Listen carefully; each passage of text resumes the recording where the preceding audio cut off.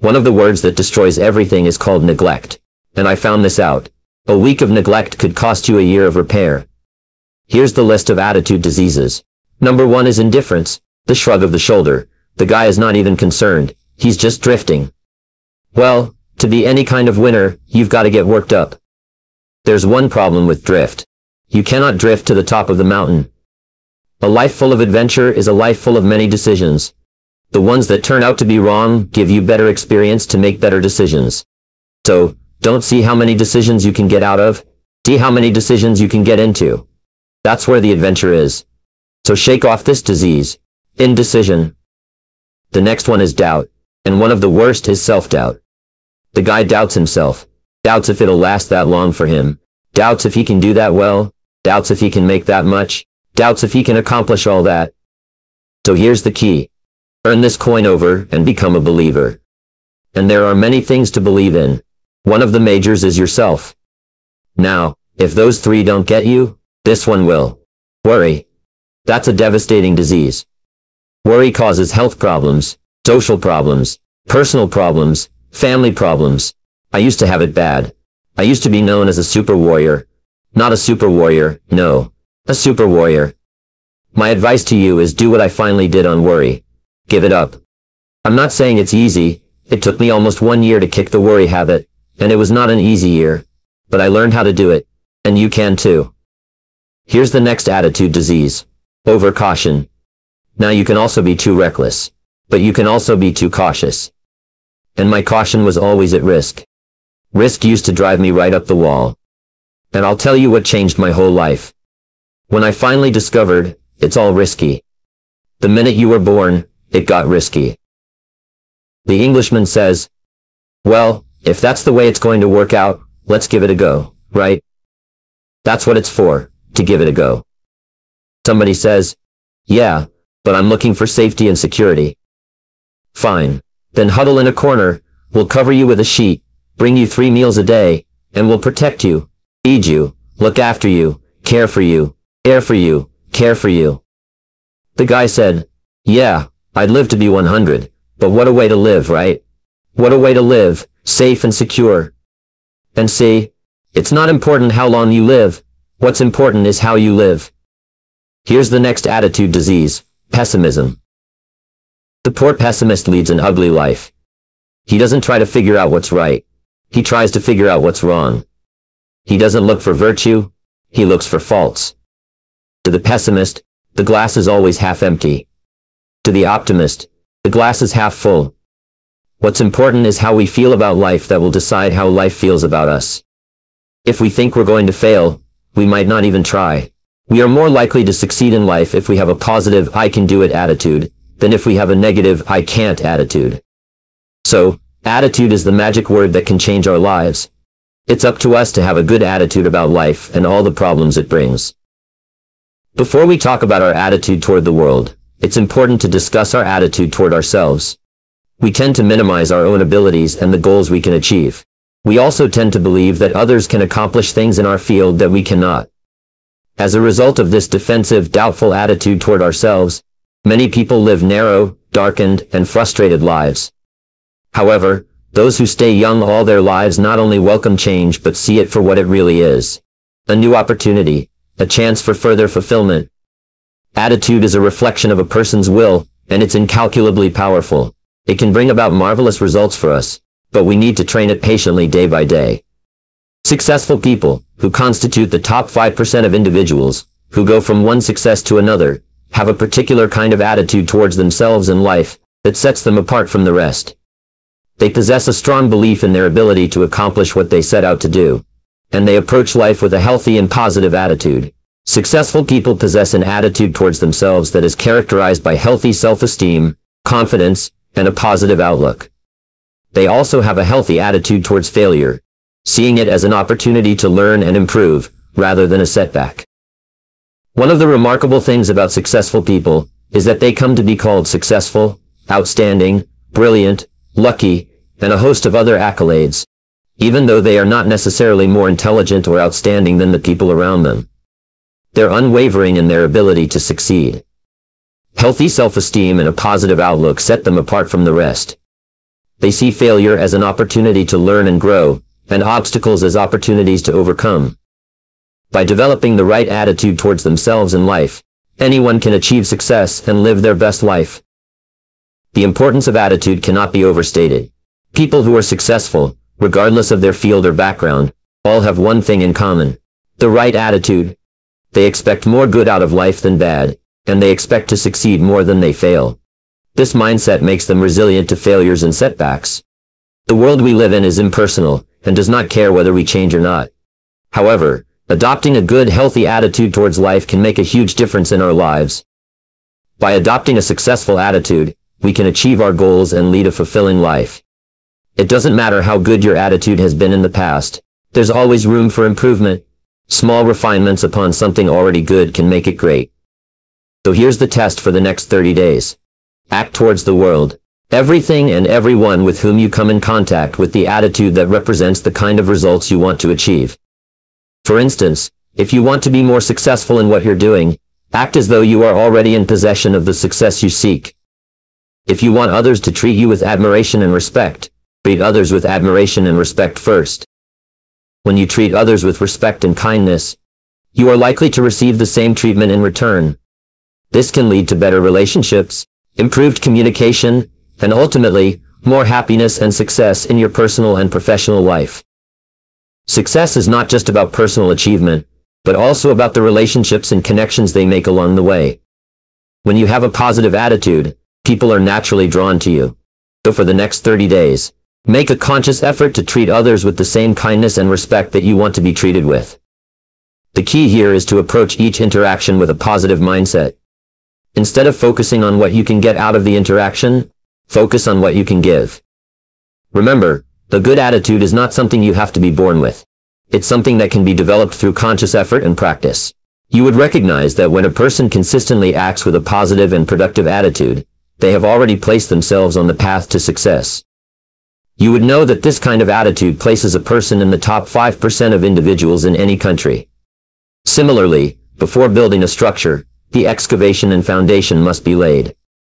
In order to achieve the kind of life a person wants, they must become the kind of individual they wish to be. They must think, act, talk, walk, and conduct themselves in all their affairs as the person they wish to become. Once a person becomes that individual, the things that person would have and do will naturally come to them almost immediately. Irritations that used to frustrate and annoy will disappear. When someone gives them a hard time, they will stay on track and not let the negative behavior affect them. By acting with a positive attitude, a person separates themselves from this negative group and begins to attract positive experiences and people into their lives. It's a universal truth that every human being has a deep-seated desire to feel valued and important.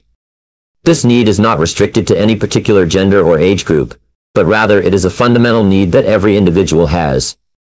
From the time we are born, we crave attention and affection from those around us, and this need only intensifies as we grow older.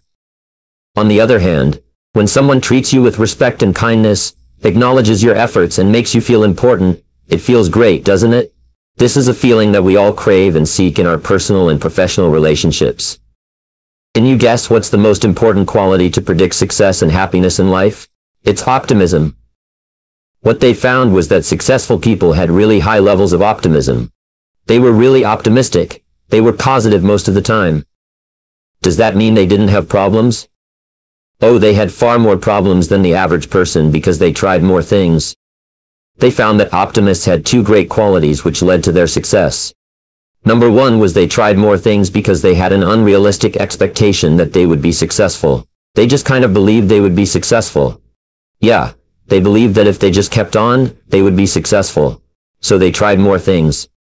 Now the second quality they had is they persisted more, because they had an unrealistic expectation that if they just persisted more, they'd succeed.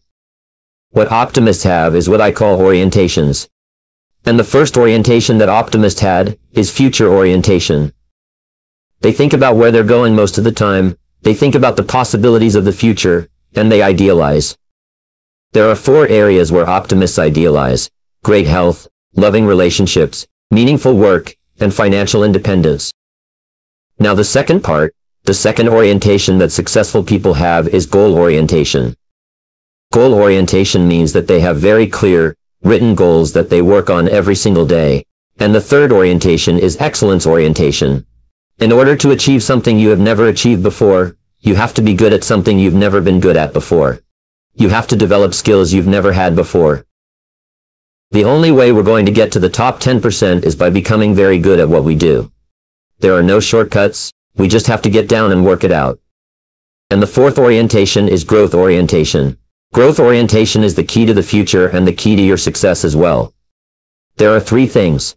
Read on a regular basis, attend all the seminars that you can, and have a mentor. So there you have it. Attitude is everything. With the right attitude, you can achieve anything you set your mind to. So go out there, be optimistic, set clear goals, strive for excellence, and never stop growing. People who are destined for great success in the future are willing to make sacrifices in the present to ensure that future. By sacrifices, we mean they are willing to put in long hours, get up earlier, work harder, and stay later. They're willing to invest and save their money, even though they don't have a lot, knowing that with compound interest, it will grow over time. They're willing to spend an enormous amount of time investing in their children, knowing that this investment in their children, in time, love, affection, and support, will pay off for decades and generations, even into the lives of their children and grandchildren. So, sacrifice is the critical word, and sacrifice means that you have the ability to discipline yourself, to delay gratification in the short term, so that you can enjoy far greater rewards in the long term. We say that self-discipline is self-control. It's self-mastery. Now the payoff for practicing self-discipline is immediate. People might think, well geez, you know. I get these rewards weighed down in the future. No, no, there is an immediate reward. There's a wonderful line in spiritual development that said, you are not punished for your sins but by them. In other words, there are things that you do that are harmful to you, that cause immediate detriment, but you're also rewarded for the good things that you do, and you're rewarded immediately. So what we know is, when you practice self-discipline, you actually like and respect yourself more. And you know, and I know, that how you feel about yourself on a minute-to-minute basis. Do you feel that you're a good person? Do you feel that you're a likable person? A successful person? The more you like yourself and respect yourself and value yourself on a minute-to-minute basis, the better is your attitude, the better is your reaction to other people. You just feel happy inside.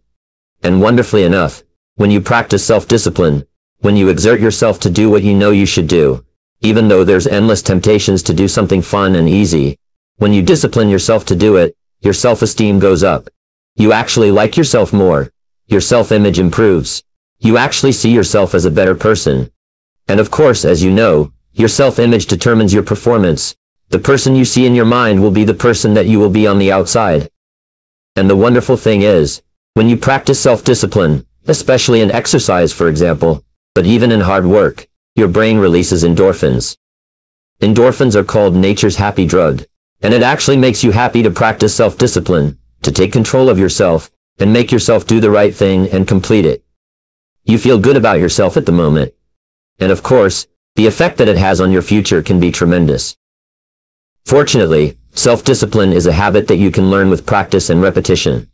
If you do something over and over again, you eventually develop a habit. The difference between successful people and unsuccessful people is that successful people have success habits. And the most important success habit they have is the ability to make themselves do what they know they should do at this time. And wonderfully enough, if you practice it over and over again, it finally locks in. Now many people get into the habit of taking the easy way out, looking for shortcuts, and so on. So they actually get into a comfort zone of doing things that are harmful to their long-term future, and they actually feel uncomfortable completing tasks, or starting on their most important jobs. However, when you get into a new comfort zone, it will be easier for you to practice the habit of self-discipline than it would be in the past for you to take the shortcut. As the German philosopher said, everything is hard before it's easy. Everything is hard before it's easy. So developing the habit of self-discipline is hard. And be patient with yourself because you'll slip back all the time. All your life, you'll be slipping back. All your life, you have to fight this battle. You never get it to the point where it's locked in forever. Every morning you get up, and that alarm goes off, and you say, do I sleep a little longer, or do I get up? You know, Every time you look at a list of things to do, you say, do I start with the most important thing? As they say, do the worst first? Or do I do something that's fun and talk to a friend or make a phone call? You've got to fight this battle every single day. But every time you fight it, you feel better about yourself. It only takes about 21 days, they say, to develop a new habit. So you can lock in the foundation of the habit simply by practicing self-discipline every single day, without exception for 21 days. Some years ago, a businessman named Albert Gray did a long-time study. It was kind of his project to find out what he called the common denominator of success. What would be the common denominator of success? And he spent 11 years studying the literature, interviewing people reflecting on it, and he finally wrote a little pamphlet, and the pamphlet has been handed around for years and years. And you don't need to get it because I'll tell you what he said. The common denominator of success was quite simple. He said successful people he found, make a habit of doing what unsuccessful people don't like to do. And of course the logical question is, well, what is it that unsuccessful people don't like to do? Well, it turned out to be the same thing that successful people don't like to do either. But they do it anyway, because they recognize that that's the price of success. For simple things like exercising, going for a run or a walk at the end of the day, well, do people like to do this? Do we look forward to exertion and perspiration and sweating and strain and everything else? No, we don't look forward to it. But we do it because we recognize that this is the price of looking and feeling fit, trim, living a long life, taking good care of our bodies, and so on. So remember, the same things that unsuccessful people don't like to do, are things you don't like to do either. Many years ago, I met Rich DeVos personally. You know, Rich DeVos is the founder of Amway, started off selling soap from door to door, and now he's worth about $5.3 billion, according to Forbes. And he was asked a question. He said, well, you know, how do you get over the fact that it's hard to prospect? It's hard to recruit, it's hard to build a business. It's hard to come home after work and work on building your business? He said. You just have to understand this. There's lots of things in life that you don't like to do, and you'll never like to do them. There's lots of hard things that contain stress, and they contain rejection, and potential failure, and hard work, and so on. He said, but you do them because you want to do the other things. It is only by doing the things that you don't want to do, that you can finally create the opportunity to do all the things that you want to do for yourself and your family. And again, it comes back to our favorite word, sacrifice. Being willing to pay the price in the present to enjoy the great rewards in the future. Now there are nine disciplines that you can develop that we'll talk about today. Disciplines that will improve every area of your life. And here's a rule. Every exercise of discipline in any area strengthens disciplines in every other area just as if you work out with your full body, that strengthens all your muscles, your heart, your lungs, and so on. Every weakness and discipline also weakens your other disciplines as well. So every time you exert yourself to discipline yourself, to make yourself do something, to control and master your natural tendency to seek the line of least resistance. Every time you master that tendency, you feel stronger and better, and you strengthen your ability to discipline yourself in other areas as well. So the first discipline of all is the discipline of clear thinking versus fuzzy thinking. You know sometimes you've heard me ask, what is the highest paid work in America? What's the most important work in any job or any company? And the answer is thinking. And you know the old saying, that some people think, some people think they think, and the great majority would rather die than think. But the discipline of clear thinking is the most important, because the way you think, the quality of your thinking, determines the quality of your decisions and choices. Your decisions and choices determine the actions you take. The actions you take determine your results. And your results determine the quality of your life. And it all starts with your thinking clearly. Thomas Edison once said that thinking is the hardest discipline of all. It requires real effort to think. Because especially today, we are so surrounded with distractions.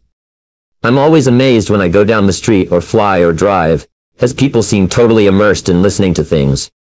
They've got devices in their ears and stuff on their cell phone.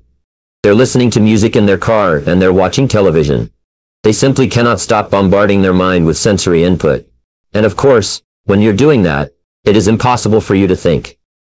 To think well requires that you practice a couple of techniques. Now first of all, as Peter Drucker said, you need to take time to think. You need to create long, unbroken chunks of time. The rule is that fast decisions are usually wrong decisions, especially fast decisions involving people or money. So if you're going to make a decision that has long-term consequences, then you have to give it a lot of thought. You have to sort of look at it like a beautiful piece of porcelain. You look at it from every single side and think about it carefully, and the more carefully you think about a decision, the better the quality of that decision will be when you finally make it. How many times have you said, you know, if I just thought about that a little bit more, I wouldn't have done it, or, if I just thought a bit better or I just taken time to think. Well, superior people, through experience and through painful experience, learn to take their time in making important decisions. So one of the very best ways that you can develop the discipline of clear thinking is to sit in solitude for 30 to 60 minutes when you have a major problem or major issue in your life. Solitude has been discovered and rediscovered throughout all the history of man as the most powerful of all thinking tools. You see, if you could imagine a bucket of water with silt in it and it's all churned up and you can't see anything, but if you leave the bucket of water to sit for a while, all the silt will drop to the bottom and the water will become perfectly clear. This is what happens for you in solitude. You sit calmly by yourself with no noise, no distractions, nothing to read, just sit quietly, which takes tremendous discipline the first few times you do it. At about 20 or 26 minutes, your mind goes clear, and any problem that you've been working on, the solution just pops into your mind. Any issue you've been dealing with, the answer just comes to you. It's almost like a miracle. When you practice solitude, you actually activate your superconscious mind and your intuition, and something that you've been having trouble with or wrestling with suddenly becomes clear, and you know exactly what to do. Now here's the wonderful thing about solitude. Everybody who practices it will tell you it's incredible. And if you've never done it before, just practice it once sometime today. Take 25-30 minutes, take an hour if you can, and just sit quietly by yourself and allow your mind to calm. Sometimes it's called mind calming, and just allow yourself to calm down and think. And the most amazing things will happen. You'll start to make better decisions. You'll start to hear what is called the still small voice within. And this small voice, or sometimes it will shout at you so loudly you will be amazed. Now here's another way to think better. When you're dealing with any kind of a situation, Write down every detail of the problem or situation. Take a sheet of paper. And the rule is, think on paper. Think on paper and write down every detail. How it happened, what's going on, the problems, the concerns, the cost, who's involved, just write it down, write it down, write it down.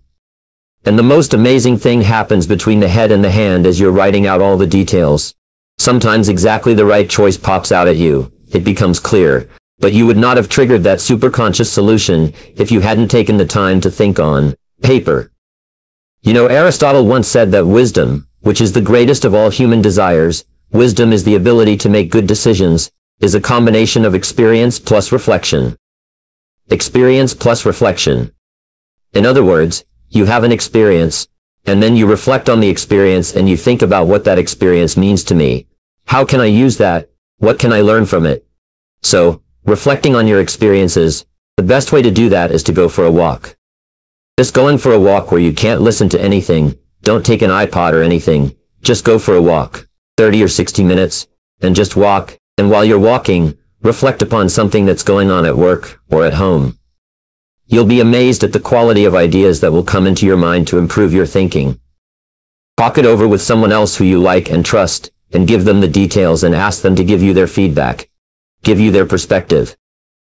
Sometimes, if you're in a great relationship, the other person can give you a perspective that completely changes your ideas. A good way to think better is to ask, especially if you're frustrated or having difficulties, to ask, what are my assumptions? What am I assuming about the situation that may not be correct? What if my basic assumptions about this relationship, about this job, about this product or service or this investment were wrong? Then what would I do? And here's the key to good thinking. Be open to doing something completely different. Be open to admitting the possibility that you could be wrong and doing something completely different. And what that does is it opens up your mind and your perspective so you can see all kinds of possibilities that you may not have seen before. So clear thinking is the first discipline. It is the discipline practiced by the most successful, happiest, and wealthiest people in our society. Now the second major discipline, my old friend, is the discipline of daily goal setting. The discipline of daily goal setting will change your life. Why? Because what we know is that focus and concentration are essential to success. There are some skills that are helpful to success, but focus and concentration are indispensable. If you cannot focus and you cannot concentrate, then you have to work for someone else who will make you focus and concentrate. They will supervise you. The ability to focus, to be clear about what you want, and then to concentrate single-mindedly on achieving it, are both habits or disciplines that you can learn through practice. So, you start off with the discipline of daily goal setting. You start off and you ask this question. This is the big question. What do I really want to do with my life? Why am I here? If I could do anything at all, what would I want to do with my life? And there's a great question that you can use to clarify this. Most people think in a very fuzzy way about what they want to do with their life, because they're preoccupied with all of their problems in life. So, what you do is you remove all your problems by asking yourself this question. Imagine that I received $10 million cash today, tax-free, in the bank. But at the same time I got a diagnosis from the doctor that said that you're going to die in 10 years.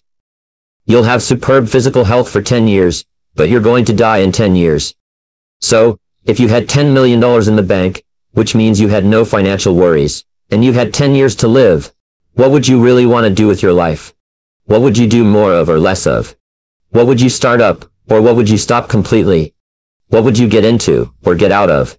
If you had 10 million and 10 years to live, imagine that for the moment.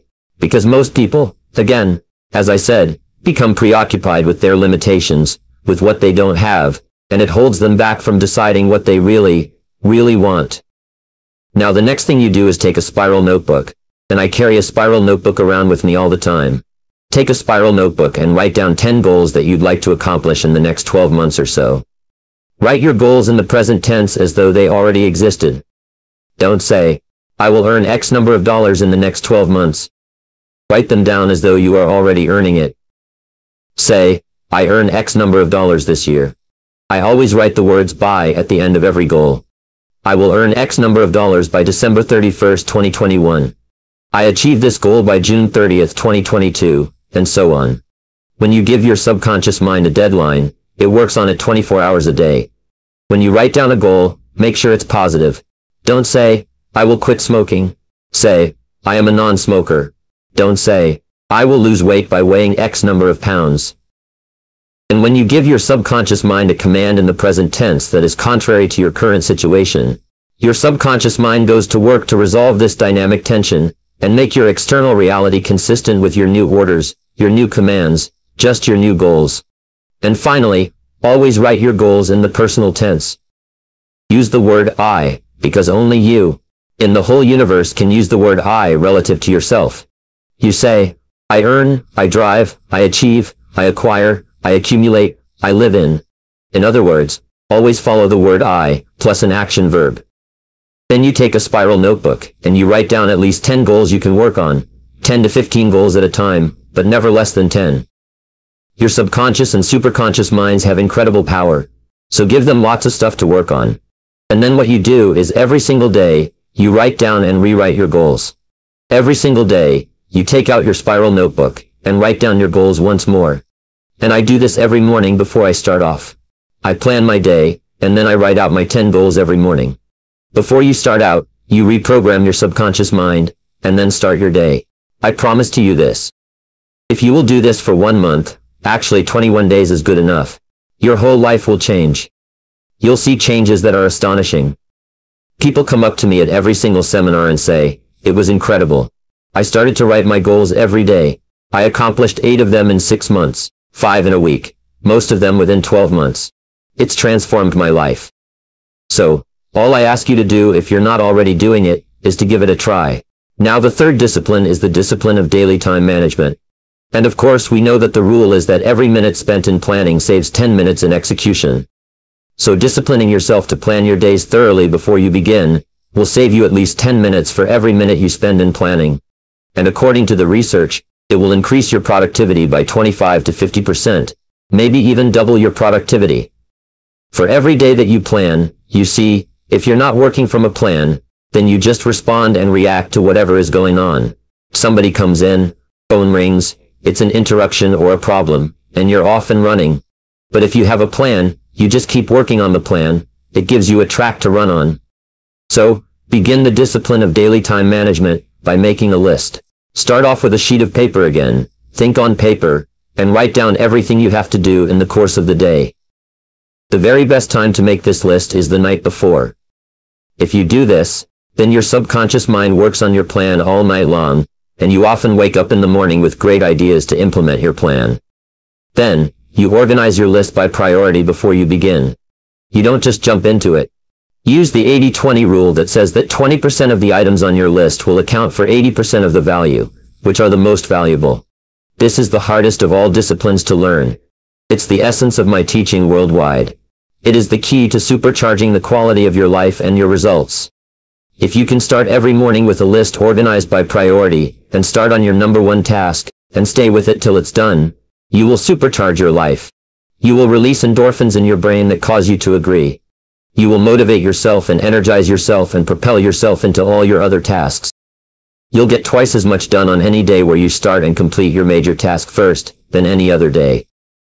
The discipline of time management will then spread to all your other disciplines, when you can demonstrate each morning that you have the self-control, self-mastery, and self-discipline to start and complete your most important tasks. You just feel fabulous about yourself. Now the fourth discipline is the discipline of courage. And it goes back to what we said earlier. Force yourself to do what you know you should do, especially in the area of courage. The biggest obstacle to success, in my estimation, the estimation of psychologists, is the fear of failure. It's the fear that it won't work out. It's the fear of loss of time or money or emotion. It's fear that goes back to early childhood. And the only way we can succeed is by overcoming this fear. And this fear is captured in the words, I can't. I can't. What about this? What about that? What about this? Fully 80% of the population is paralyzed by the fear of making a mistake. And why? Because in growing up, you make lots of mistakes and don't like the feel of it. So eventually you become conditioned to avoid taking any risk at all, so you have to overcome this in order to realize your potential. But what we know is that courage, the courage to face fears, is a habit, and its development is a practice just like typing with a typewriter or riding a bicycle. You can actually develop the habit of courage by practicing courage whenever it's required. Aristotle wrote about this in his Nicomachean Ethics in 350 BC. He said, If you desire to have a quality that you don't have, act in every instance where the quality is called for, as though you already had it, and you will have it. So, as Ralph Waldo Emerson said, do the thing you fear, and the death of fear is certain. What he said was to confront your fears. The natural human tendency is to avoid a fear-causing or fear-inducing situation. Most of our fear problems seem to be bundled up with other people. By the way, it's confronting a boss. It's confronting a bad relationship. Sometimes it's confronting a prospect. Cold calling, going out and calling on customers, and facing rejection, failure, and embarrassment, and so on. But confronting that fear instead of avoiding it, just do it. So, the reason you want to confront your fears is not because of the incident specifically. It's because of what it does for your character. You want to demonstrate to yourself that you can face down a fear, look it square in the eye, and suddenly, surprise, surprise, it goes away. And you realize that the fear was in your own mind. Now, here's the most wonderful thing about overcoming fears. If the fear of failure is summarized with the feeling I can't, Psychologists have found you can actually short-circuit or override the fear by saying to yourself very strongly, I can do it, I can do it, I can do it, and do it, and do it. If you're afraid of anything, talking to somebody, confronting someone, dealing with something, say to yourself over and over again, I can do it, I can do it, I can do it, and then just do it. And you'll be amazed. The fear disappears, almost like poof, it's gone. So, the key is, you're looking at that telephone to pick up the phone to cold call to prospect. Just say to yourself, I could do it, I could do it, I can do it, and pick it up and dial, and suddenly, the fear disappears. And you do this repeatedly, and eventually, you develop the habit of courage. Here's an exercise for you. Identify one fear situation in your life today, and use that as your challenge, use that as your test case. You say, you know what, I'm going to do it. I'm going to face this fear down. I'm going to hammer it. I'm going to smash it. I'm going to look at it directly, head on, like a car hitting a wall, until the fear is gone. And once you've done that, you'll look up, and you'll be a different person for the rest of your life. You'll know that nothing that you're afraid of can stop you. The fifth discipline is the discipline of excellent health habits. Your goal should be to live to be 100 in sound physical health. Today, the average lifespan in America is approaching 80, which means 50% of people will die above that, and 50% of people will die below. Since you are smarter than the average or more knowledgeable, you're better informed. You're probably going to smash that average and live to be 90, 95, 100 years old. So, set 100 as your goal and say to yourself, okay, I want to live to be 100 in great shape. What would I have to do? What kind of shape would I have to be? And what kind of life would I have to live physically in order to get there? First of all, design your ideal body. If your ideal body was perfect, in other words, weight, fitness, tone, stretch, flexibility, and everything. If your body was perfect, what would it look like? And make a list of all the things. Remember, when you were a child, your body was perfect. And if your body is not perfect now, it just means that maybe you've forgotten to do a few things, or you've done a few things you shouldn't have done. So, start off with a clear picture of your perfect body, and recognize that that is possible. Now the key to physical health has always been contained in the five-word formula. Eat less and exercise more. Eat less and exercise more. Every single person who studies the subject, and now more and more people realize that the key to success is to eat less and exercise more, and exercise every day. So, discipline yourself to exercise daily. The very best time, of course, is in the morning. If you get up in the morning and exercise immediately, even if it's just stretching or going for a walk or riding a life cycle or walking on a treadmill. Doesn't matter what it is. If you get up in the morning and exercise immediately, not only will your body continue to burn calories all day, not only will you be more alert because you'll have highly oxygenated blood flooding your brain first thing in the morning, but you'll develop the discipline of starting on something that you would normally not want to do, and getting it done, getting it out of the way. The more times I read about wealthy people, successful people, and top business people, it's amazing how many of them get up at 5 and work out for an hour. It's absolutely astonishing. Over and over again, you see their daily routine, as they get up at 5 or 5.30, and they work out for an hour before they start planning and organizing their day. If you can discipline yourself to do that, it'll have an enormous impact on your life. Also, when you exercise first thing in the morning for 30 to 60 minutes, your brain releases endorphins which, as I said, make you happy. They make you feel exhilarated, make you feel more creative, more positive. You'll feel more personable, you're more eager to get to work and so on. So, morning exercise just starts you off in fantastic mental and physical condition. Now to get rid of any extra weight that you might have, just eliminate the three white poisons. The three white poisons are anything that has flour in it. Flour, wheat flour, any kind of flour makes you overweight. It sticks to your gut, to your hips, and to your thighs. Eliminate sugar and any sugar, eliminate desserts, eliminate donuts, eliminate soft drinks. Don't eat things with sugar, and eliminate salt. Don't put any salt on your food, there's plenty of salt in everything you do. I ran into a friend of mine recently who lost 20 pounds. I looked at him, he was just swaying. I mean, his suit jacket was swaying back and forth like a tent on a tent peg in the wind.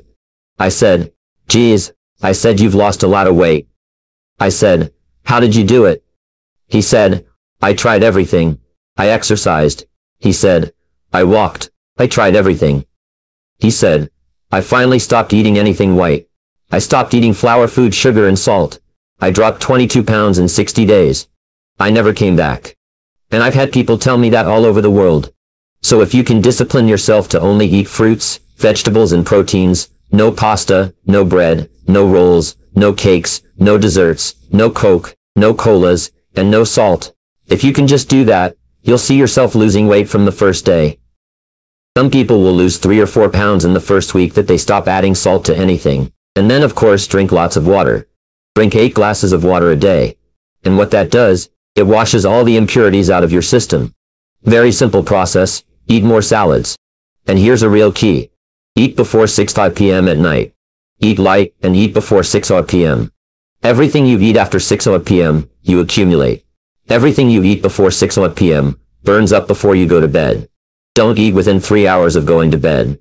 Eat a light or medium light dinner, salad with a little bit of protein, before 6 p.m. or at 6 p.m., and you'll be astonished the next morning, you'll be thinner. It's absolutely remarkable. Two more things by the way, with regard to health. First of all, get regular medical and dental checkups. People often don't go to the dentist or the doctor until they need to. I find that it's a false economy. Especially if you're over 40, you should have a complete medical every single year, and you should have regular dental checkups at least twice a year. If you're in business of any kind, you should have four visits to the orthodontist to clean your teeth every single year so that your teeth are really clean. They found there's a direct relationship between gum health and the health of your whole body. So, with regard to self-discipline, just remember the Michael Jordan motto, just do it. If you think it's a good idea, do it. Get on with it. Don't waste time, don't make excuses. Now the sixth discipline is the discipline of regular saving and investing. One of the greatest goals that we have in life is to be financially independent. One of the greatest worries we have in life are our bills and our debts. The greatest fear we have in life is poverty, or ending up with no money. So the very act of starting to provide for yourself financially transforms your thinking about yourself and your life. It makes you a happier person. So, set a goal of financial independence. Decide that, by gum, I'm going to become financially independent and resolve to get out of debt and stay out of debt. I've worked with countless people who have become financially independent starting from nothing, and one of the things they had was an aversion to debt. They hated debt. They avoided debt like the plague. The only debt they would accept maybe was debt on a mortgage on the house that they live in, maybe debt on a car. But even then, they didn't like debt. Other than that, they avoided debt like the plague. So, to get out of debt and stay out of debt, you have to discipline yourself. Now, here's an interesting point. And I learned this from one of the smartest money managers I ever met. He said, when we're young, we associate money with pleasure. We get our first allowance, and we go and we spend it on candy. And we think that when we have money, we go and we spend it on candy or things that make us feel good. Now when we become adults, whenever we think of getting a lot of money, our first thought is spending it on something that makes us happy. If you go to a tourist resort where people are on vacation and having a good time, there are just lines of knickknacks and gadgets and junk because people, when they're happy, associate going out and buying stuff. However, what this does is it keeps you broke all your life. So, what you do, this is what he told me, is you rewire yourself. You kind of pull out one wire and replug it in, and you say, instead of saying I like spending money, you say I like saving money. And you begin to think of how much you enjoy having money in the bank, how much you enjoy saving, how much you enjoy delayed gratification, how much you enjoy the idea of moving toward financial independence. And when you develop the habit of being happy about saving money, you start to find yourself more and more careful with your expenditures. Now you know the rule for financial independence is to save 10, 15, 20% of your income throughout your life. And as your income grows, keep saving more and more and investing it, putting it away. As Albert Einstein said, Compound interest is the most powerful force in the universe. So, putting your money away in well-chosen mutual funds, money market funds, index funds, just letting it grow over time. And don't worry about the stock market going up and down. The average increase in the US stock market for the last 100 years has been 8 to 10% each year, taking good years and bad years into consideration.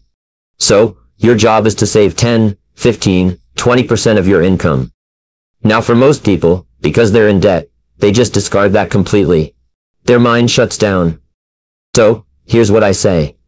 Develop the habit of saving 1% of your income. If you make $2,000 a month, that means you save $20. You go down to the bank and you open up a financial freedom account, and you put in $20 from the first paycheck you get that month.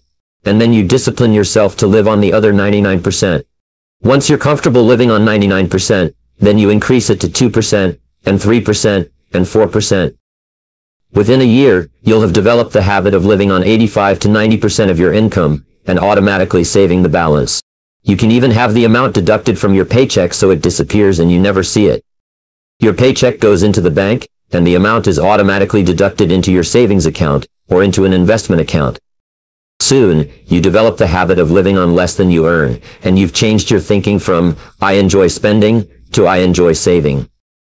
A key way to save your money is to delay and to defer major purchase decisions. You'll find that if you think about buying a car or a washing machine or a stereo set or a new computer, if you think about it for 30 days, in many cases, you won't do it at all. Or if you do, you'll make a better decision. One of the smartest things of all is to buy things that are used rather than things that are new. You know that millionaires never buy new cars. Millionaires never buy new cars. According to the studies by Stanley and Danko in The Millionaire Next Door, if they wait and they buy a car that's two years old, it's coming off lease or that's been driven for two years and somebody's trading it in, and it's still under warranty for three years. And you can even get extended warranties on many cars where they'll go back and clean it all up and give you another five years on a two-year-old car. But what have you done? You save ten or twenty thousand dollars on a car. And what do you do with that money? You put it away, and let it grow with compound interest. If all you did was buy a used car every five to eight years, drive it until it falls apart, and then buy another one, the money saved from buying new cars can make you rich. It can accumulate with compound interest into hundreds of thousands of dollars by the end of your working lifetime. If you're going to invest, the rule is to investigate before you invest. My friend Ken Fisher of Fisher Investment says that two-thirds of all investing is avoiding making mistakes. Let me repeat that. Two-thirds of all success in investing or business is avoiding making mistakes, either by making the wrong decisions, or by making decisions too quickly. So, if you're going to invest in anything, the rule is to spend as much time investigating the investment as you spent making the money. You'll find that quick investment decisions are invariably poor investment decisions. Invest only in things that you know and understand. Don't invest in somebody else's idea, scheme, or business. Only invest in things that you know. The number one rule is don't lose money. Whatever you do, don't lose money. If there's a possibility of losing a little bit of money and you do it, you're probably going to lose a lot. So, be very careful. Once you earn the money, hold on to it. There's a Japanese proverb that says, making money is like digging in the sand with a pin. Losing money is like pouring water on the sand. It's easy to lose money, but it's hard to make it and keep it, and it's the most important discipline of all. Another discipline is to pay cash as often as possible, and for as much as possible. Get rid of all your credit cards except for one, and only use that one when you have to. The very act of paying cash hypersensitizes you to how much it's costing and causes you to spend less money. W. Clement Stone once said, If you cannot save money, the seeds of greatness are not in you. The primary reason why you save your money and accumulate it carefully is because it gives you two things. First of all, it gives you freedom. You know you've got money in the bank. If you don't like your job, you can walk away from it because you've got money in the bank. But the second thing it gives you is opportunity. If an opportunity comes along, you're prepared to take advantage of it. You don't have to say, I'm sorry, I don't have any money, I can't afford it, I'm broke. And people just shake their head in pity and walk away. As an adult, you should always have opportunity money put aside. And when you have it, you feel great about yourself. The difference between a person with a little money and a person with no money is night and day. A person with a little money feels great. A person with no money always feels inferior, anxious, worried, concerned, irritable, short-tempered. You know exactly what I'm talking about. Now the seventh discipline is the discipline of hard work. There's nothing that will help you more than for you to develop a reputation as a hard worker. In the studies of self-made millionaires they said, I didn't have better education, better talent, better knowledge, but I was willing to work harder than anyone else. Most self-made millionaires work 60 and 70 hours per week for 5, 10, 15 years before they break through. Most other people are trying to get by on 5 days a week, and then during those 5 days a week, they don't work very hard at all. The interesting thing, Thomas Jefferson once said, Do you believe in luck? He was asked. He said, Yes. He said, I believe in luck. He said, And the harder I work, the more that I have. So the harder you work, the luckier you get.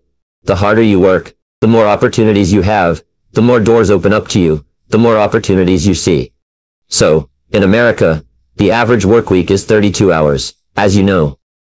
In France legally, the average work week is 35 hours, but then most people waste about half their time at work. According to Robert Half International, the average person wastes 50% of their time in idle chit-chat with coworkers, coffee breaks, lunches, reading the paper, surfing the internet, doing all kinds of things that don't contribute anything to the work. Here's the rule that will make you successful, happy, and rich. Work all of the time. Work when you go to work, put your head down, and go to work. Don't waste a single minute. Put your head down, and work all day long. If somebody comes up to you and says, Hi, how are you doing? You say, Fine. But right now, I've got to get back to work, back to work, back to work. If you've got a minute to chat, yes, but not now. Let's talk after work. Right now, I've got to get my job done, and nobody will ever stop you when you say, I've got to get back to work, I've got a job, I've got to get out, I've got something I have to get done. They'll go away and ruin someone else's career. Remember, the greatest time wasters in the world of work are other people who take up your time with idle chit-chat and worthless gossip. You've got to avoid the time wasters in every single company. These people go around and they're like a virus. They go around and they infect everybody they talk to. Stay away from time wasters. Now here's a way to double your productivity, performance, output, and income. Here's a way to put yourself on the fast track, increase your income, and become one of the most valuable people in your industry. Start one hour earlier, and when you start, get to work. If the starting time in your company is at 8.30, start at 7, calm. Now you say, where are you going to get the time? Get up a little earlier and get going. Remember, all you do is beat the traffic. If you get in there early and get in there, plan your day, get going, get organized, get started. When other people come in, you are already running, you're already on your way. Work through lunch. There's no law that says you have to go out and kill an hour. An hour and a half at lunch. Eat at your desk, eat quickly, eat on the go, use that time to work. Don't use that time to hang around. There's a thing sweeping America today about having fun at work. No, work is not fun time. Work is not the playpen or the sandbox. Work is not school. Work is work. What you do is you go to work, and you work all the time. Don't worry about fun. Have your fun later knowing that you've done a fantastic job and you've gotten a lot done. And finally, work one hour later. Be the last one to leave. Be the person who turns off the lights. Interestingly, if you look at an entrepreneurial startup, a business that's being run by somebody who's really driving it forward, you'll find that business owners usually are the first ones there, work through the whole day, usually the last ones to leave. Business owners usually work on Saturday and Sunday. At the end of the day, the business owner's got a beautiful home, a house on the hill, beautiful cars, a beautiful life, vacations, a boat, a yacht, and everybody says, boy, she sure is lucky. No, they're not lucky. They just worked all the time. They work. If you work three extra hours, start earlier, work harder, day later, you'll add six hours of productive work to your day. Every hour of uninterrupted work when nobody's there translates into three hours of productivity when there's people around interrupting you. So, Keep asking at work, what is the most valuable use of my time right now? And then do only that. And keep saying, back to work, back to work, whenever you get distracted, or you start to follow the path of least resistance. I major in my mind or say, wait a minute, I've got to get back to work, back to work, back to work. Now the eighth discipline is the discipline of continuous learning. The rule is to earn more, you must learn more. If you want to earn more than you're earning today, You've got to learn new knowledge and skills that make it possible. Jim Rohn once famously said, work at least as hard on yourself as you do on your work. So, how do you do this? Well, you read in your field daily. If you reach 60 minutes a day in your field, a little in the morning, a little in the evening, it'll translate into one book a week. One book a week will translate into 50 books a year.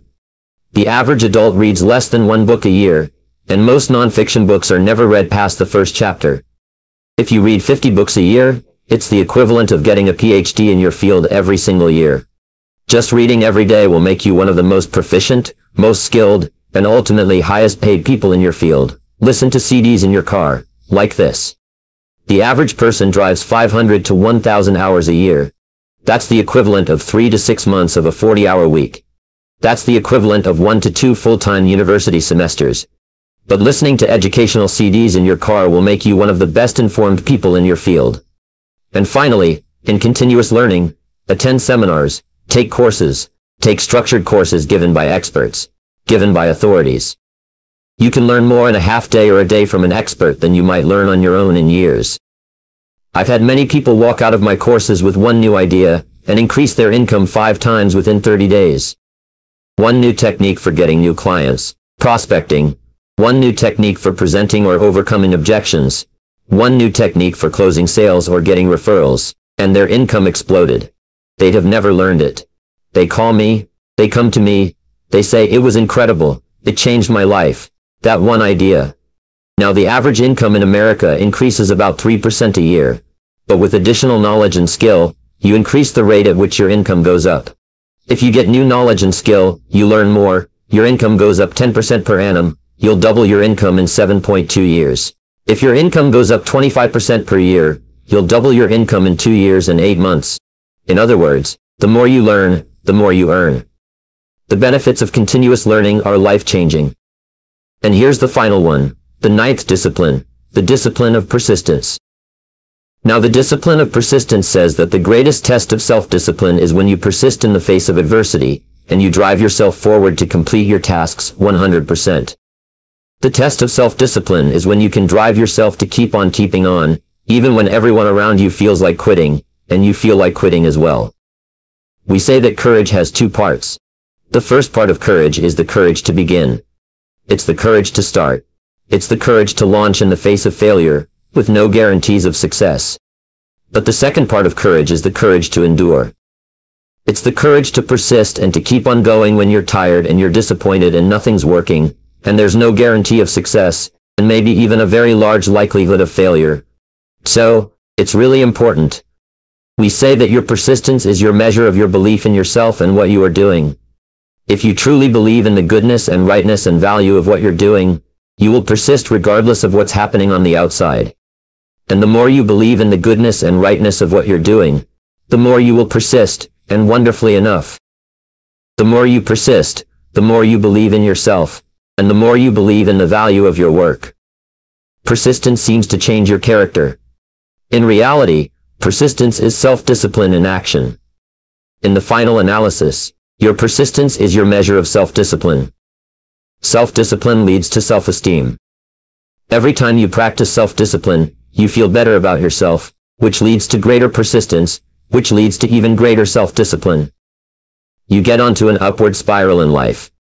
That's why Napoleon Hill said that persistence is to the character of a man or woman, as carbon is to steel. You actually make yourself.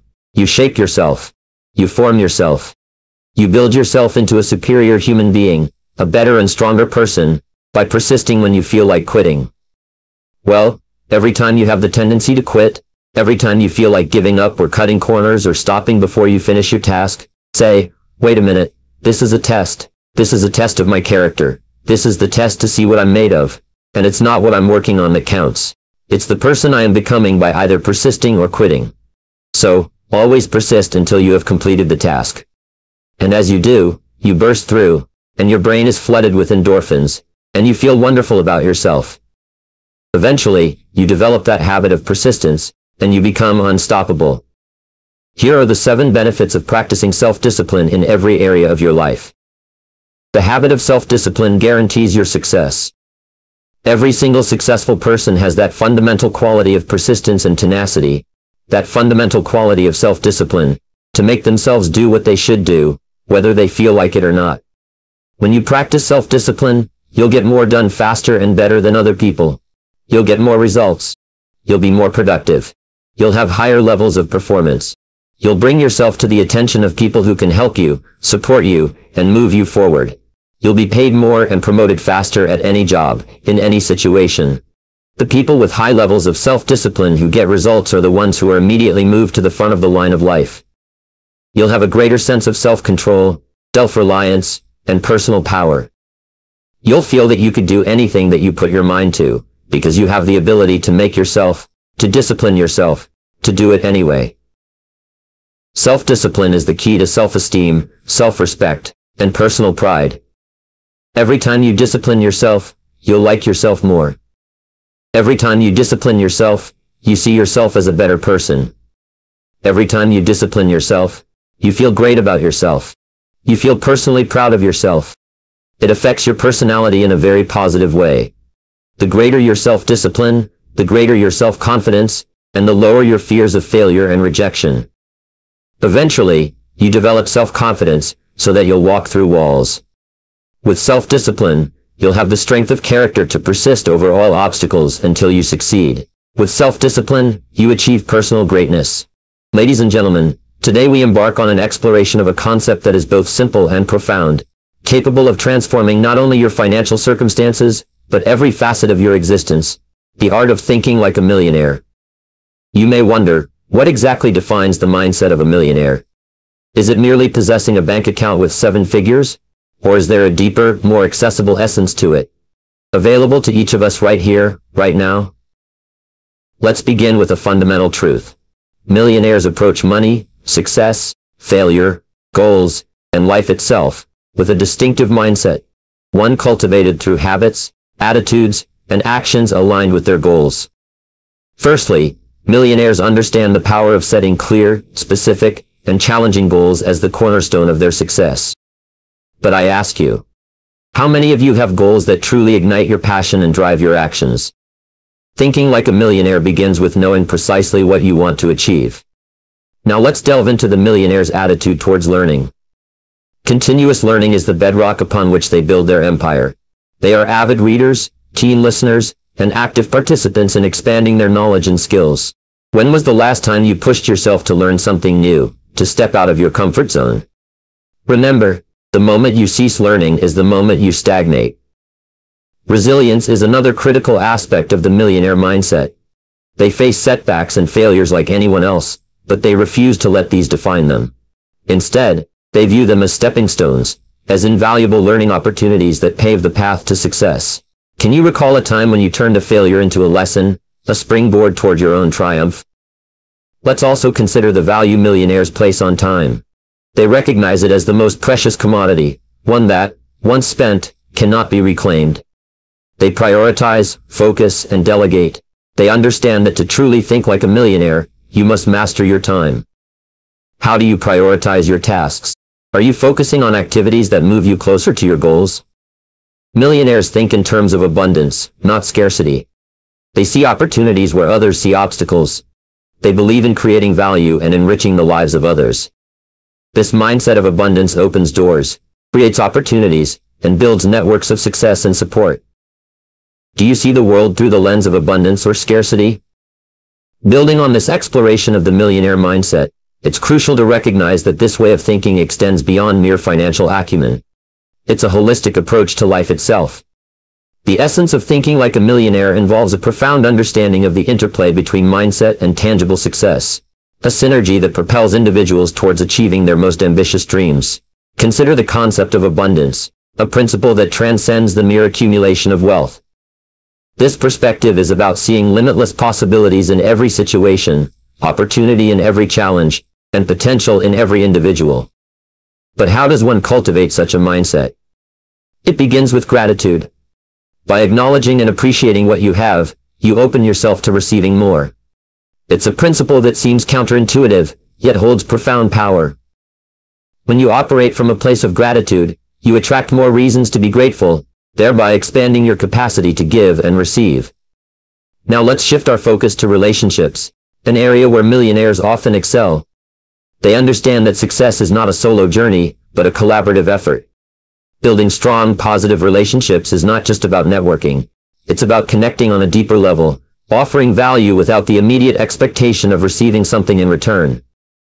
This approach to relationships, rooted in genuine interest and generosity, paves the way for long-term partnerships and opportunities that might not otherwise arise. Ask yourself, how can I add value to someone's life today? This simple yet profound question can transform your approach to interactions, opening doors to mutual growth and success. Furthermore, embracing risk is another facet of the millionaire mindset. While the idea of taking risks might evoke fear or uncertainty, millionaires view risk as an essential ingredient for growth. However, it's not about reckless gambles but calculated risks, decisions informed by research, intuition, and sometimes the courage to step into the unknown. Ask yourself, what's holding me back? Is it fear of failure, or perhaps the comfort of the familiar?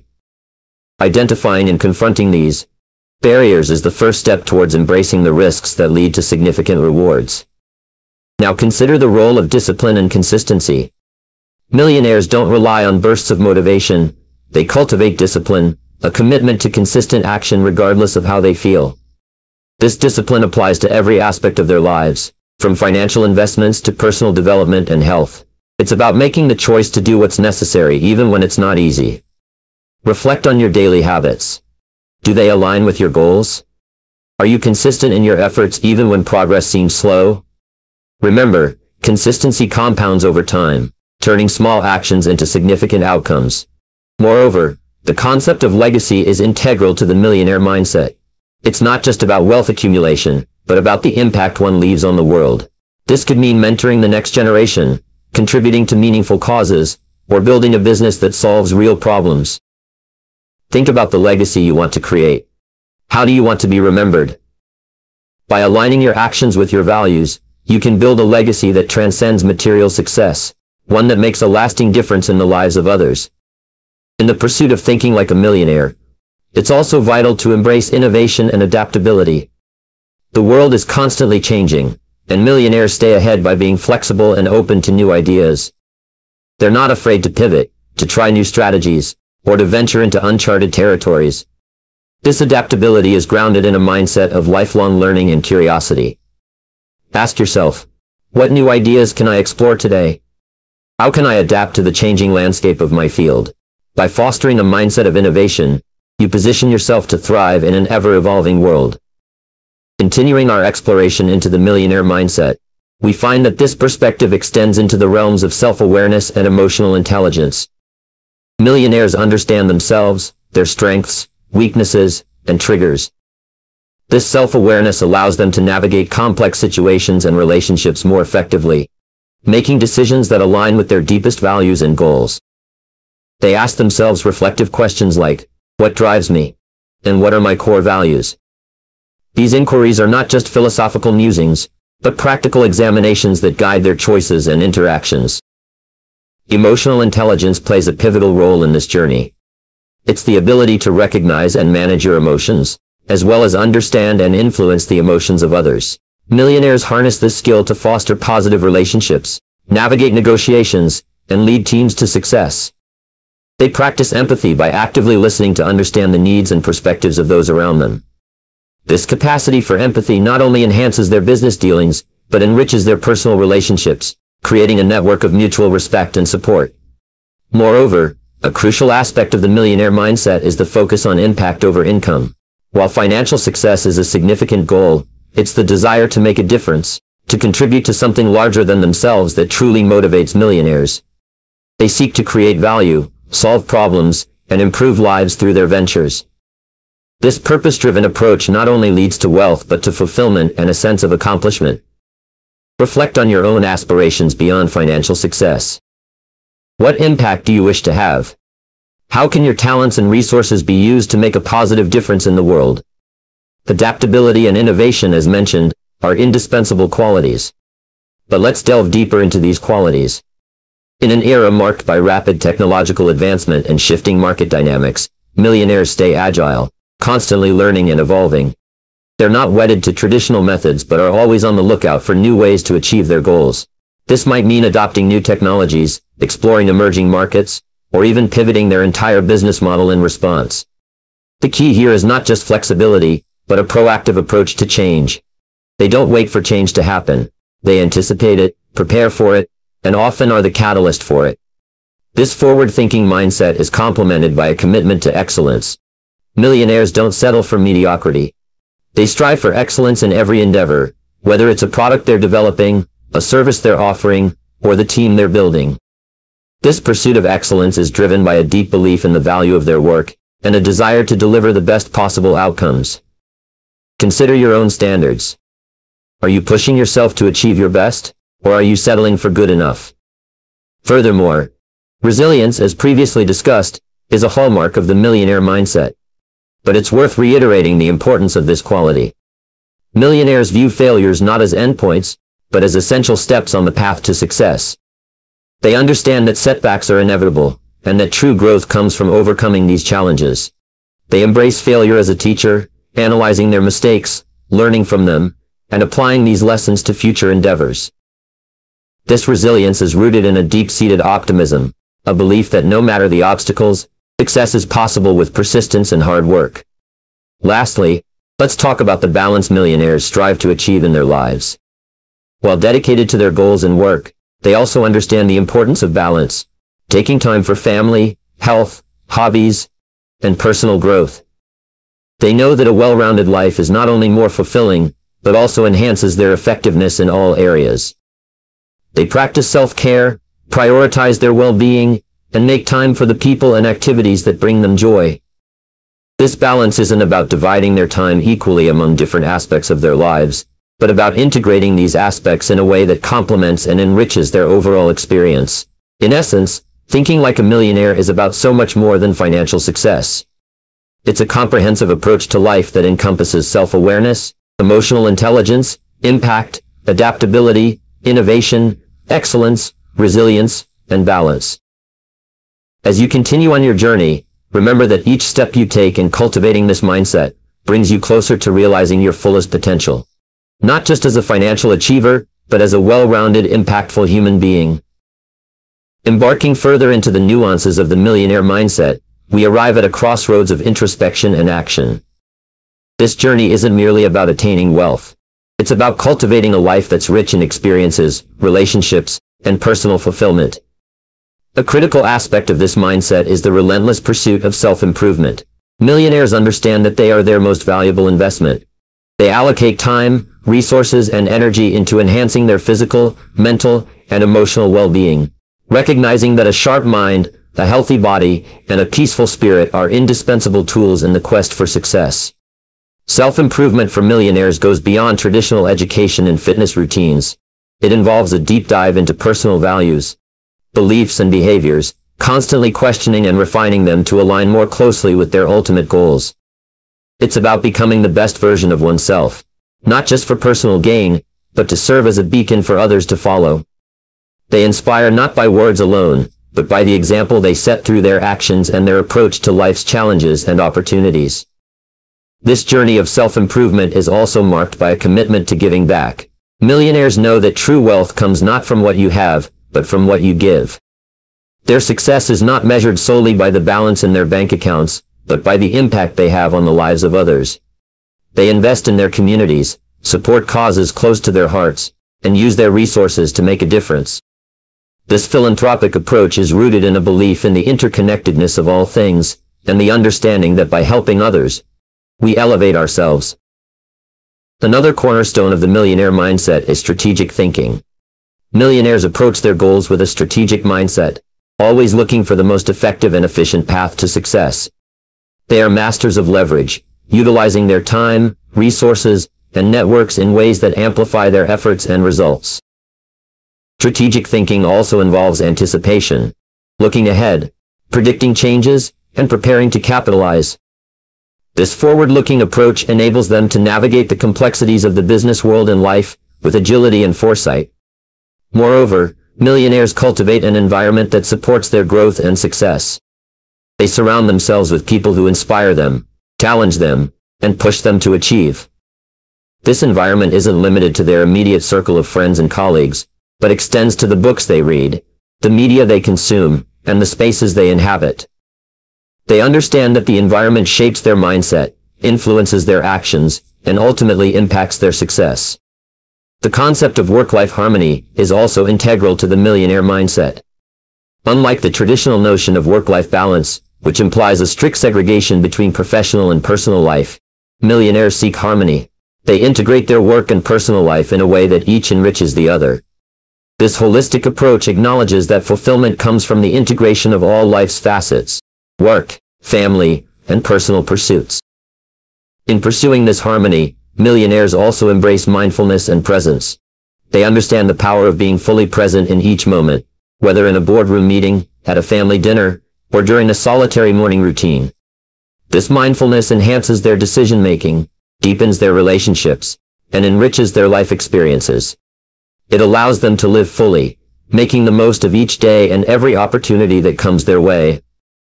Finally, the millionaire mindset is characterized by an unwavering belief in oneself and one's vision. Despite challenges, setbacks, or the skepticism of others, millionaires maintain a steadfast faith in their ability to achieve their dream. This belief isn't blind optimism, but a deep-seated confidence built on experience, knowledge, and the courage to take calculated risks. It's this belief that propels them forward, fueling their persistence and driving them toward their goals.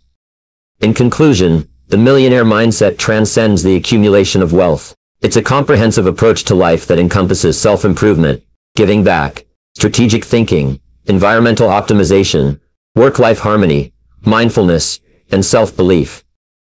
Cultivating this mindset requires effort, introspection, and a commitment to continual growth and contribution. It's about embracing life's journey with passion, purpose, and a relentless drive to achieve, not just financial success, but a legacy of impact and inspiration.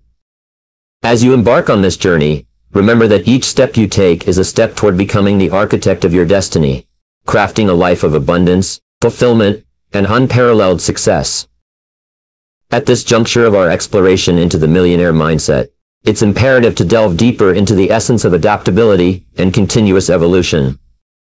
Millionaires in their journey embody the principle of being fluid like water, adapting to the contours of their environment while maintaining their inherent force and direction. This adaptability isn't merely reactive but proactive. It involves constantly scanning the horizon for emerging trends, shifts in the marketplace, and changes in consumer behavior. They pivot not out of desperation, but from a place of strength and foresight, always staying a step ahead of the curve. In cultivating such adaptability, millionaires also embrace the concept of lifelong learning. But this learning is not confined to their field of expertise alone. They draw insights and inspiration from a wide array of disciplines, art, science, philosophy, history, understanding that innovation often occurs at the intersection of diverse fields. This broad spectrum of knowledge not only enriches their worldview, but also fuels their creativity, enabling them to approach problems with fresh perspectives and come up with groundbreaking solutions. Furthermore, millionaires understand the significance of resilience. Rooted not just in enduring setbacks but in emerging from them stronger and more determined, this resilience is cultivated through a mindset that views failures as not just inevitable, but essential components of the journey to success. They dissect their failures, extracting valuable lessons, and applying them to future endeavors. This iterative process of action, reflection, learning, and adaptation forms the core of their approach. Moreover, the millionaire mindset emphasizes the importance of vision. Millionaires are visionaries, not just dreamers. They possess the ability to envision a future that others can't see, and the conviction to bring that vision to life. Their vision serves as a beacon, guiding their decisions, actions, and priorities. It's a vision that extends beyond personal gain, encompassing a broader impact on society, the economy, and the environment. They ask themselves, what legacy do I want to leave, and how can my success contribute to the greater good? This forward-looking perspective ensures that their work is imbued with purpose and meaning. Central to the millionaire mindset is also the mastery of emotional intelligence. Millionaires recognize that while intelligence is important, Emotional intelligence is equally crucial. It enhances their leadership abilities, enabling them to inspire and motivate their teams, build strong relationships, and navigate the complexities of human dynamics in both business and personal life. They cultivate empathy, listening not just to respond but to truly understand, thereby forging deep connections that transcend mere transactions. In addition, millionaires prioritize their well-being, understanding that physical, mental, and emotional health are foundational to success. They invest in their health by incorporating practices that nourish their bodies and minds, such as regular exercise, balanced nutrition, mindfulness, and meditation. This holistic approach to health ensures they have the energy, clarity, and stamina to pursue their goals with vigor and resilience. Equally important is the millionaire's approach to risk. They approach risk strategically, weighing potential rewards against possible losses, but they're not paralyzed by the fear of failure. Instead, they're motivated by the potential for learning and growth. They understand that taking calculated risks is essential for breakthroughs, and that every risk taken is an investment in their learning and development. Lastly, the millionaire mindset is characterized by gratitude and humility. Millionaires, despite their achievements, remain grounded, recognizing that their success is not solely the result of their efforts, but also the support of countless individuals along the way. They express gratitude regularly, not just as a courtesy, but as a core value that guides their interactions and decisions. This gratitude is coupled with humility, the understanding that no matter how much they achieve, there's always more to learn, more ways to grow, and more opportunities to give back. In summary, The millionaire mindset is a dynamic and multifaceted approach to life that encompasses adaptability, lifelong learning, resilience, vision, emotional intelligence, health and well-being, and risk-taking. It's a mindset that seeks not just financial success, but a rich, fulfilling life marked by continuous growth, meaningful contributions, and deep connection. As you journey toward cultivating this mindset, remember that each step, each decision, each risk, and each failure is part of the tapestry of your success story. Embrace the journey with openness, curiosity, and an unwavering commitment to your vision, and watch as the world unfolds in ways you never imagined, further into the essence of what it means to cultivate a millionaire mindset. It becomes evident that such a mindset isn't just about achieving personal success. It's about transforming that success into a catalyst for broader change. Millionaires understand that their achievements have the power to inspire, influence, and ignite change beyond their immediate circle. They see their journey not as a solitary climb to the top, but as a collective expedition where lifting others becomes an integral part of their own ascent. This notion of success is deeply intertwined with the concept of service. The true mark of a millionaire mindset is the seamless integration of success with service. Millionaires recognize that wealth is not the end goal, but a tool, a means to effect positive change, empower communities, and build a legacy that outlives their physical presence. They ask, how can my success serve as a bridge for others? This question guides their philanthropic efforts, their business practices, and their personal philosophy. They invest in education, innovation, and solutions to pressing global challenges, understanding that their contribution can spark a chain reaction of growth and development. Moreover, the journey toward embodying a millionaire mindset reveals the importance of authenticity and integrity. Millionaires know that long-term success is built on a foundation of trust, transparency, and ethical behavior. They lead by example, ensuring that their actions align with their words and values.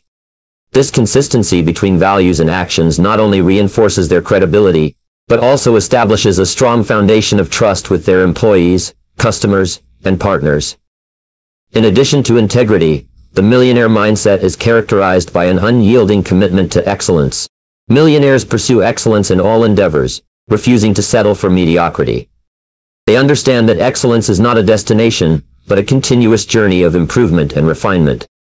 This pursuit goes beyond their professional life, extending to their personal development, relationships, and contributions to society. They set high standards, challenge the status quo, and relentlessly push the boundaries of what's possible. Another critical aspect of the millionaire mindset is the cultivation of a positive attitude. Millionaires approach life with optimism and a can-do spirit. They view challenges as opportunities for growth and learning, and setbacks as temporary obstacles to be overcome. This positive attitude is infectious, creating an environment of motivation, innovation, and resilience. They inspire those around them to adopt a similar outlook, fostering a culture of positivity and possibility. Furthermore, millionaires are adept at navigating the complexities of human relationships. They excel in communication, negotiation, and conflict resolution, understanding that strong relationships are the bedrock of successful business. They listen actively, communicate clearly, and negotiate with empathy, always seeking win-win outcomes. They approach conflicts not as battles to be won, but as puzzles to be solved collaboratively.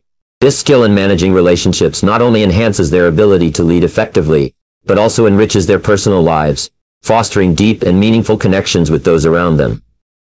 In cultivating a millionaire mindset, it's also essential to embrace vulnerability.